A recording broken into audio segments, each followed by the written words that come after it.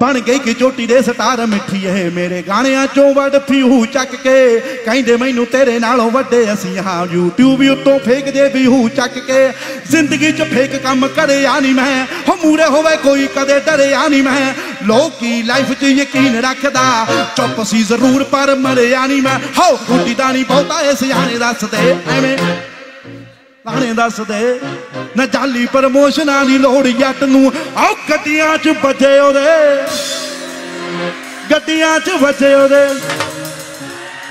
ਗੱਡੀਆਂ 'ਚ ਵੱਜੇ ਉਹਦੇ ਗਾਣੇ ਦੱਸਦੇ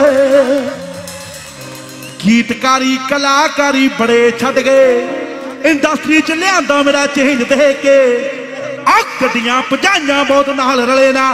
ਹੋ ਬੜਿਆਂ ਨੇ ਮਿੱਤਰਾਂ ਦੀ ਰੇਂਜ। ਕਿਵੇਂ ਨਾ ਕਿਵੇਂ ਅਸੀਂ ਸੌਂਦੇ ਪਿੱਛੇ ਸਾਨੂੰ ਲਾਉਣਾ ਤੁਸੀਂ। ਇਹ ਦਿਨ ਕਦੇ ਨਹੀਂ ਆਉਣਾ ਤੁਸੀਂ। ਇਹ ਦਿਨ ਕਦੇ ਨਹੀਂ ਆਉਣਾ ਤੁਸੀਂ।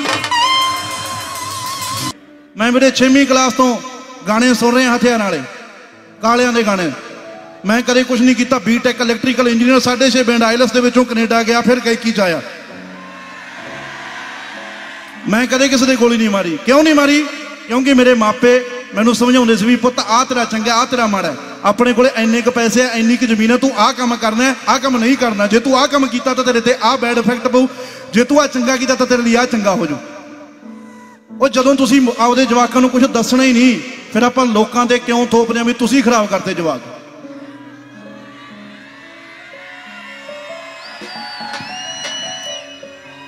ਮੇਰੇ ਵੀਰੋ ਜੇ ਕੋਈ ਕਿਸੇ ਦਾ ਘੋੜਾ ਪੁੱਤ ਦਬਦਾ ਨਾ, ਜਾਂ ਤਾਂ ਉਹਦੇ ਹਾਲਾਤ ਇਹੋ ਜਿਹੇ ਹੁੰਦੇ ਨੇ, ਜਾਂ ਉਹਦੀ ਸਿੱਖਿਆ ਇਹੋ ਜਿਹੀ ਹੁੰਦੀ ਹੈ।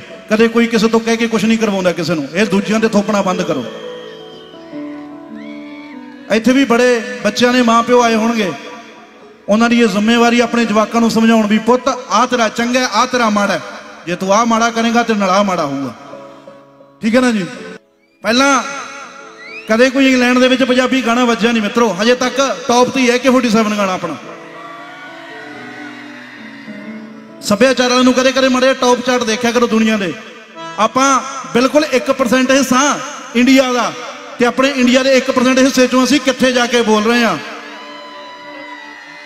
ਇੱਜ਼ਤ ਕਰਿਆ ਕਰੋ ਜੈਲਸੀ ਨਾ ਕਰਿਆ ਕਰੋ ਮੇਰਾ ਵੀਰ।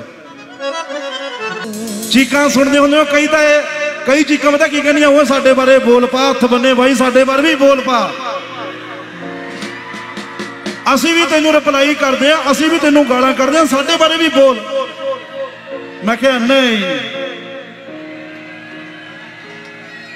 ਰਿੰਗੀ ਚੱਲੋ ਰਿੰਗੀ ਚੱਲੋ ਹੋ ਰਿੰਗੋ। ਤੁਸੀਂ ਸਾਡੇ ਤੇ ਧਿਆਨ ਰੱਖੋ, ਅਸੀਂ ਹਿੱਟਾਂ ਦੇ ਧਿਆਨ ਰੱਖਦੇ ਹਾਂ। ਠੀਕ ਹੈ ਨਾ ਜੀ?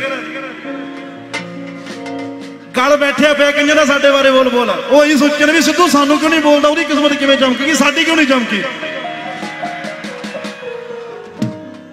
ਰੋਜ਼ ਕਹਿੰਦੇ ਅਸੀਂ ਸਿੱਧੂ ਨੂੰ ਉੱਥੇ ਇਹ ਕੀਤਾ, ਸਿੱਧੂ ਫੇਰ ਚੁੱਪ। ਉੱਥੇ ਉਹ ਕੀਤਾ, ਸਿੱਧੂ ਫੇਰ ਚੁੱਪ। ਸਿੱਧੂ ਜਿੱਥੇ ਬੋਲਣਾ ਨਾ, ਸਿੱਧੂ ਉੱਥੇ ਬੋਲੂ, ਤੇ ਉੱਥੇ ਚੀਕ ਪਵਾ ਦੂ ਜਿੱਥੇ ਬੋਲਿਆ।